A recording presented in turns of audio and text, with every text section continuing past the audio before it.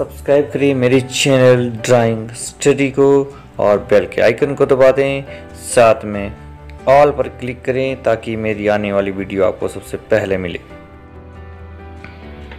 Tenth class में आज हम पढ़ेंगे प्रश्न नंबर 107 और 108 ये दो हमारे प्रश्न हैं। ये दोनों ही स्पर्श रेखाओं के हैं।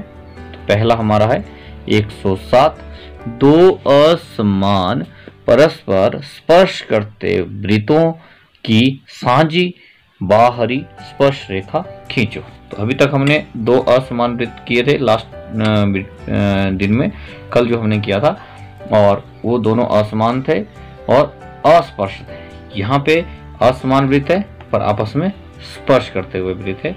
तो हम सबसे पहले वृत्त दिए हुए आज मैं वृत्ति ले लेता हूँ सबसे पहले। अभी तक मैं बता रहा था कि आप पहले रेखा ले सकते हैं बट कोई नहीं, मैं आज आपको बताता हूँ कि हमने आज क्या करना है। सबसे पहले हमने दो वृत्त दिए हुए तो एक मैं वृत्त ले लेता हूँ बड़ा, क्योंकि ये असमान वृत्त है, और स्पर्श करता है। अभी काटते हुए नहीं है, एक ध्यान रखना आपने, ये स्पर्श करते हुए वृत्त है, काटते हुए नहीं है। ये हमारा आ गया वृत्त ए। हम अपने इसी के साथ एक इससे छोटा वृत्त लेना है, वृत्त बी तो मैं, ये देखिए, इससे मैं छोटा ले लेता हूँ, देख लेता हूँ कि इससे छोटा बनेगा, ये देखिए, मैं छोटा बना लेता हूँ, और मैं यहाँ से इसको स्पर्श करता हुआ वृत्त एक बना देता हूँ, छोटा रहेगा इससे, ये आप देख सकते हैं, छोटा है इससे, ये, इस पॉइंट का नाम मैं दे देता हूँ, इसका जो केंद्र है, ये है बी अब हमने ए और बी इन दोनों केंद्रों को आपस में मिला देना है।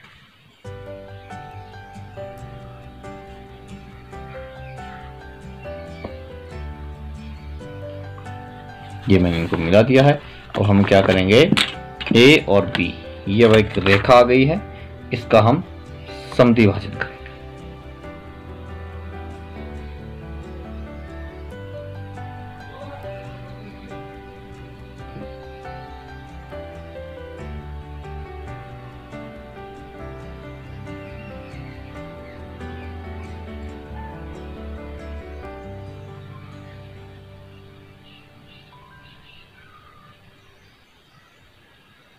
ये हमारे समधि भाजन की चापें लग चुकी हैं। अब मैं इन चापों को मिला देता हूँ।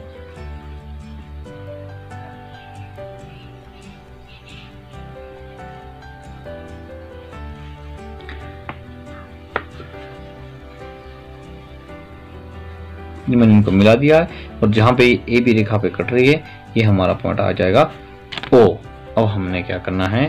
ओ पॉइंट पर प्रकार रखना है और ए या बी जितनी प्रकार खोल के हमने अर्धवृत्त लगाना है यहाँ से।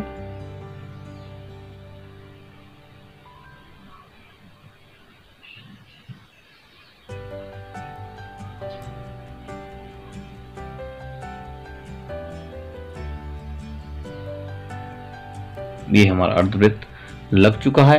अब हमारे पास एक पॉइंट आएगा, इसमें हमने क्या करना है, जहाँ पे ये दोनों वृत्त आपस में कट रहे हैं। यहाँ पे हमारा पॉइंट आ रहा है सी अब हम क्या कर सकते हैं? या तो हम सी से जो ये आपका संधि भाजन वाली रेखा, ये बिल्कुल सीधी होती है हमेशा। इसी के सीध में हम यहाँ पे एक रेखा ले सकते हैं, या हम यहाँ पे सी पर 90 डिग्री का कोण बना सकते हैं। तो दो ऑप्शन हमारे पास है। या तो आप जो आपका संधि भाजन है, इस रेखा के समानांतर रेखा ले लीजिए, या फिर आप सी पॉइंट पर 90 डिग्री का कोण बना दीजिए। और जहाँ पे ये आपका ये जो आपका अर्धवृत्त है, अर्धवृत्त की परिधि पे जहाँ पे ये कट रहा है, इसका नाम हम दे देते हैं डी इस पॉइंट का नाम मैंने दे दिया डी अब हमने क्या करना है? डी से हमने सी जितनी प्रकार खोलनी है, ये देखिए, और सी से मुझे एक चाप लगानी है, जो दोनों वृत्तों की परिधि पे बाहर को जो है वो परिधि पे कटेगी ये मैंने लगा दी है। और इनके मैं नाम दे देता हूँ। इनके नाम आएँगे है एफ़ और ई e, तो ये आपका आ जाएगा ई e और यहाँ आ जाएगा आपका एफ़ ये पॉइंट एफ़ है ये ई e पॉइंट है। अब हमने ई e और एफ़ को बाहर से मिला देना है और ये दो असमान स्पर्श करते हुए वृत्तों की बाहरी साझी स्पर्श रेखा है। दोनों के ऊपर से आ रही है और ये अब हमारा प्रश्न बन गया है। ये है हमारा 107 ये प्रश्न नंबर बन के तैयार हो। अगला हमारा है प्रश्न नंबर 108 दो परस्पर काटने वाले असमान वृत्तों की बाहरी स्पर्श रेखा खींचो। अभी हमने पहले जो किया था, वो दो असमान स्पर्श करते हुए वृत्त थे अब ये दो असमान परस्पर काटते हुए वृत्त है। हम एक बड़ा वृत्त ले लेते हैं।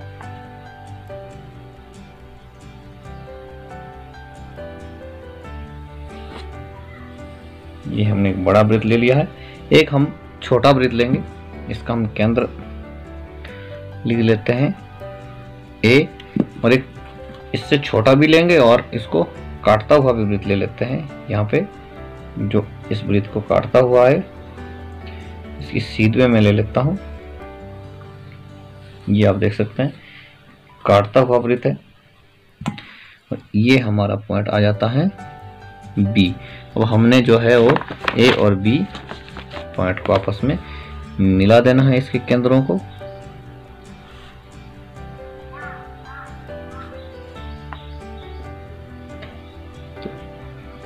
और ये रेखा हमारी आगे जानी है लंबी तो मैं इसको अभी से बढ़ा देता हूँ। आगे, ये मैंने अभी से बढ़ा दी है।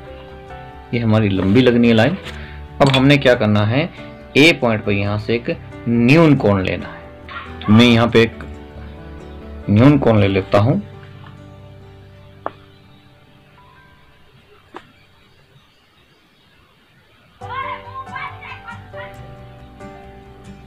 ये मैंने एक न्यून कोण ले लिया है और इस कोण का मैं नाम दे देता हूँ सी।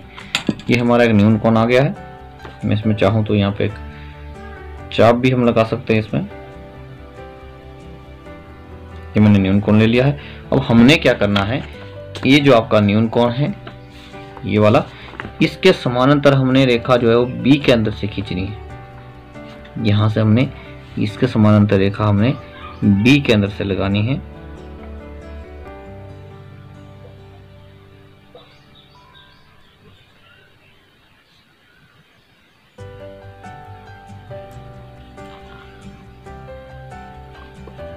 ये आप देख सकते हैं। ये मैंने रेखा लगा दी है। ये रेखा इस रेखा के समानांतर होगी। ये यहाँ पे मैं नाम दे देता हूँ डी यहाँ पे नाम आ जाएगा डी हमने जो है वो सी और डी इन दोनों बिंदुओं को आपस में मिला देना है।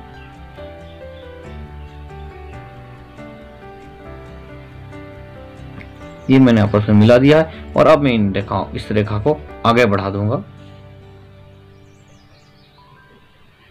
ये मैंने आगे बढ़ा दिए और ये जो ए बी रेखा मैंने पहले ही बाहर बढ़ा रखी थी, ये यहाँ तक आ रही है।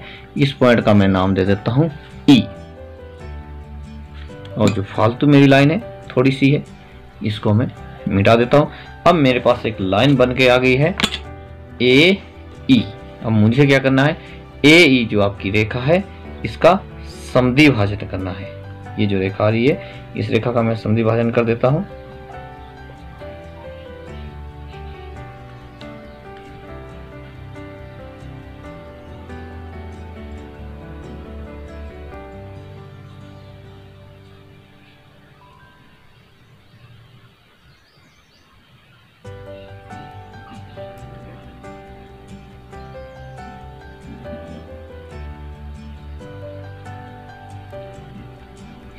अब मैं इन चापों को मिला देता हूँ आपस में।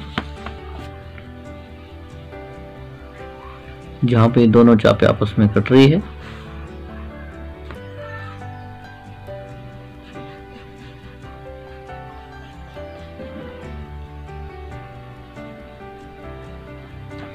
जहाँ पे ये समधि भाजन वाली रेखा ए ई रेखा को काट रही है, यहाँ पे मैं इसका पॉइंट का नाम दे देता हूँ। ओ अब मुझे क्या करना है? हमें क्या करना है? हमने ओ पर प्रकार रखनी है और ए या ई जितनी प्रकार खोलनी है या तो हम ए जितनी प्रकार खोल दें, या फिर ई जितनी प्रकार खोल दें। ये आप देख सकते हैं। अब हमने ओ पर प्रकार करके ए से अर्धवृत्त लगाना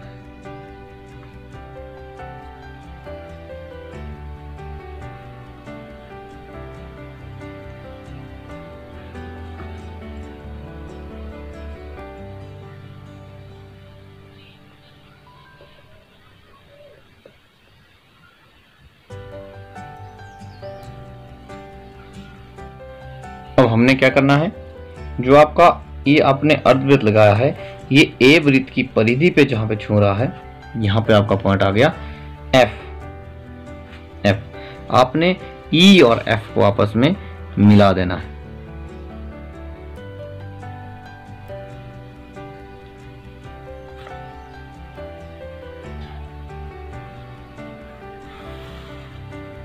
ये आप देख सकते हैं मैंने ई e और एफ़ को मिलाया है और जो आपका छोटा वृत्त है, ये इसको भी स्पर्श करती हुई रेखा आ रही है। तो इसका मतलब है कि हमारा जो प्रश्न है, जो हमने बनाया है, वो बिल्कुल सही हमारा बना है। मैं इस लाइन को थोड़ा आगे बढ़ा लेता हूँ। ये अभी देखने में थोड़ा अच्छा लगेगा। तो ये आपका प्रश्न नंबर 108 आपने विशेष ध्यान देना है, ये जो आपका कौन बनेगा, ये न्यून कौन बनेगा और ये 60 डिग्री से कम रहेगा।